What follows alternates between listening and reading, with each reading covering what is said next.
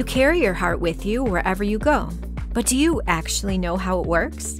It's just like something you're very familiar with your house. Your heart has four rooms in a two story house.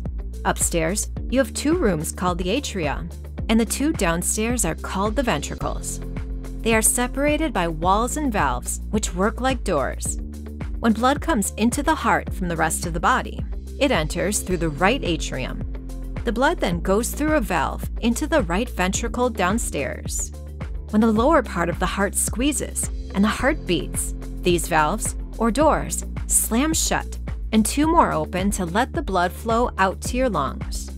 The other upstairs room, the left atrium, receives the oxygen rich blood from your lungs and pumps it downstairs to the left ventricle. This oxygenated blood will now be pumped to the rest of your body.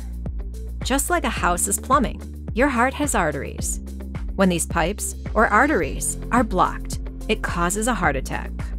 The heart, just like a house, also has an electrical system that keeps your heart beating. If you have an arrhythmia, like AFib, this signals a problem with your heart's electrical circuit.